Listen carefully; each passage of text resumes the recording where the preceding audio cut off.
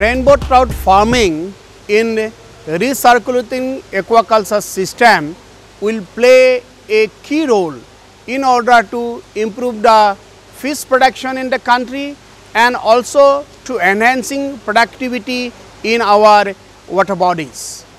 DCFR has recently developed a recirculating aquaculture system Rainbow Trout Farming and Recirculating Aquaculture System RAS.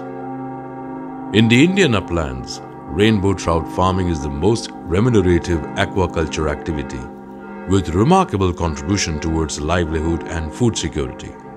At present, rainbow trout is cultured in flow-through raceway systems where approximately 200,000 liters of water is used to produce 1 kilogram of fish.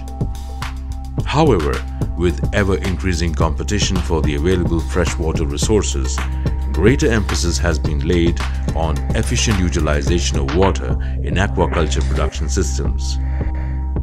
In this context, Recirculating Aquaculture System RAS is gaining greater significance worldwide as a disruptive technology which substantially reduces the volume of water required for food fish production.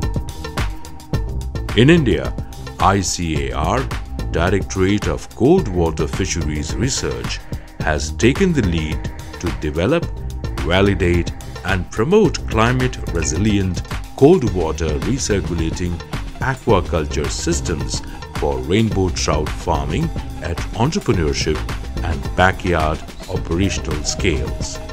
In September 2019, a pilot scale RAS facility was designed and established for rainbow trout grow-out culture at Bhimtal under the ICAR National Innovations in Climate Resilient Agriculture project. This facility has large grow-out tanks, experimental tanks, solid removal system, drum filter, moving bed biofilter, reservoir. Corresponding equipment were provided for water pumping,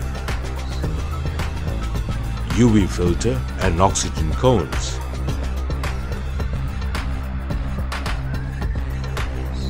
Oxygenation, electrical control and real-time system monitoring. This 50,000 cubic meter volume RAS facility has a production capacity of 2.5 tons of rainbow trout per annum. At present, we have achieved a unit productivity of 40 kilograms of fish per cubic meter by standardizing operating procedures related to water filtration, feeding,